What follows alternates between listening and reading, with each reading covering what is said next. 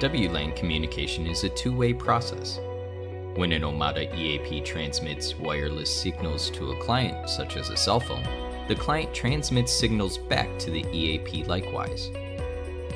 RSSI, Receive Signal Strength Indicator, is a parameter that shows the strength of the signal received at the receiver.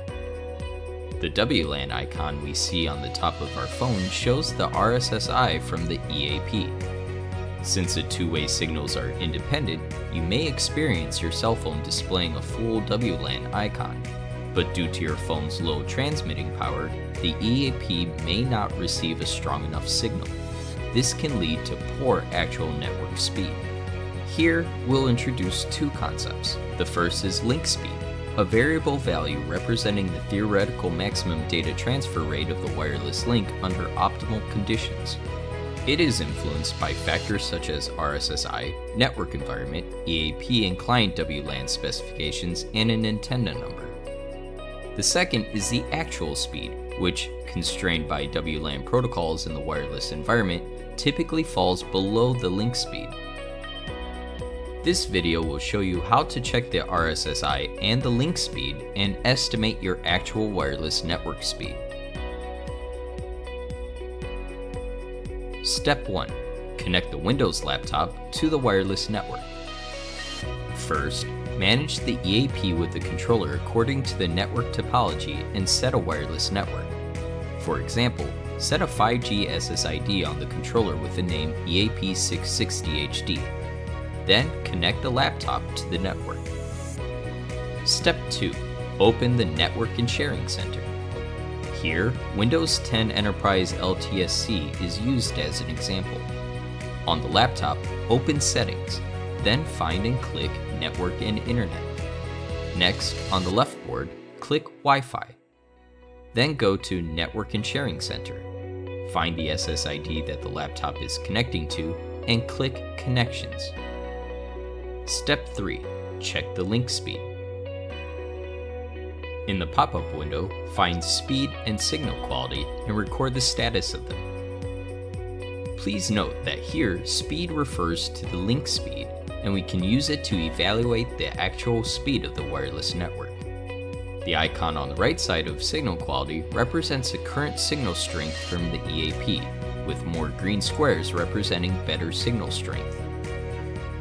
Now, click Details and record the IPv4 address of the laptop. We will use it in the following step.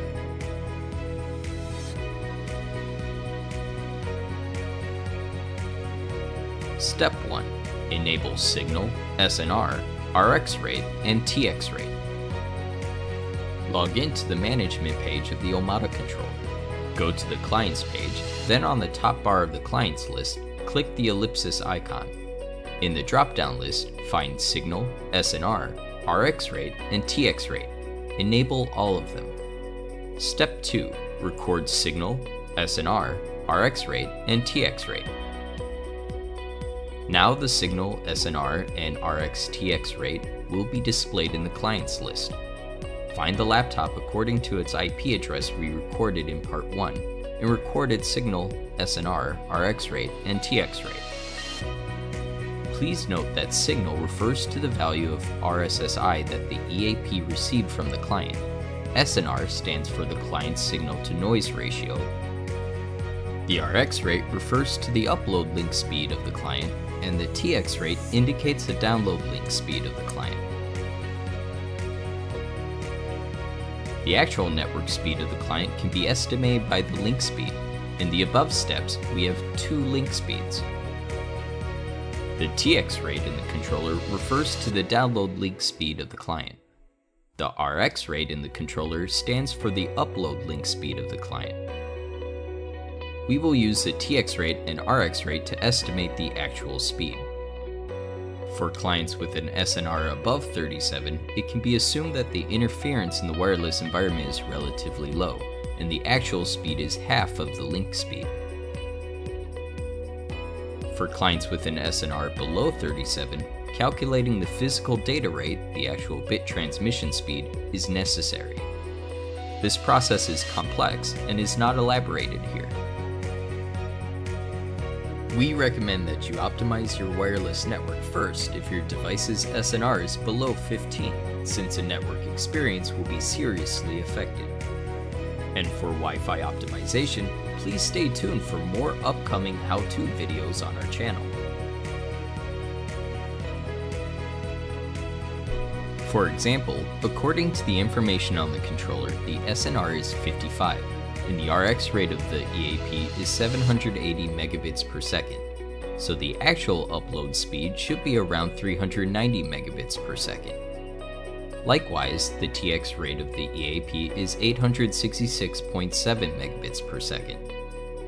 So the actual download speed should be around 433.35 megabits per second. Now, open the browser of the laptop, visit the speed test URL www.speedtest.net. Click Go on the center of the page and wait for the speed test results. The download speed and the upload speed will be displayed separately. They are the actual speeds of the laptop, and we can compare them with our estimation. You may find that the download speed and upload speed are lower than the estimation value. This value can be affected by many factors. One might be the actual download upload speed from the ISP. For example, the test result is limited to 93.86 megabits per second and 19.07 megabits per second, since the download and upload speed from the ISP in this test environment is 100 megabits per second and 35 megabits per second. Another may be interference from the wireless environment. If the wireless environment is poor, for instance, with high signal interference, the actual speed will fall below the estimated speed. Finally, there could be other clients occupying the traffic during the speed test. In this case, we suggest disabling the traffic of other clients for the test.